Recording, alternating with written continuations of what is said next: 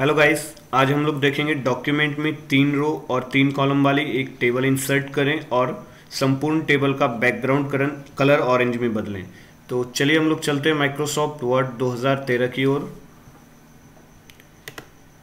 ये मैंने Microsoft word 2013 का वर्कबुक ओपन कर लिया है। यहाँ पे हम लोग तीन रो और तीन कॉलम वाली एक टेबल इंसर्ट करेंगे। तो सबसे पहले चलते हैं इंसर्ट टेबल की ओर। इंसर्ट टैब में आके टेबल वाले ऑप्शन पे क्लिक करेंगे। यहाँ पे इंसर्ट टेबल पे क्लिक करेंगे। यहाँ हमारा इंसर्ट टेबल का चार्ट खुल गया है। यहाँ पे नंबर ऑफ़ कॉलम में थ्री टाइप करेंगे और नंबर ऑफ़ रो में थ्री टाइप करेंगे।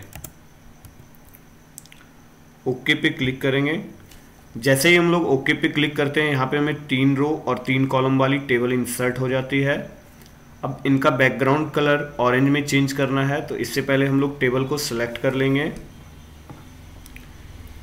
ये यहाँ पे आके हमने प्लस वाले ऑप्शन पे क्लिक करके टेबल को सिलेक्ट कर लिया है। इसके बाद शेडिंग वाले ऑप्शन पे क्लिक करेंगे और ऑरेंज कलर को सिलेक्ट करेंगे। अब हम लोग देख सकते हैं गाइड्स कि हमारा जो टेबल इंसर्ट किया गया था, इसका बैकग्राउंड कलर ऑरेंज में चेंज हो चुका है। गाइज़ उम्मीद है कि आपको वीडियोस अच्छा लगा होगा। इसलिए हमारे चैनल्स के वाई पी एक्स टीच को सब्सक्राइब करें वीडियोस को लाइक करें और ज़्यादा से ज़्यादा शेयर करें। Thank you for watching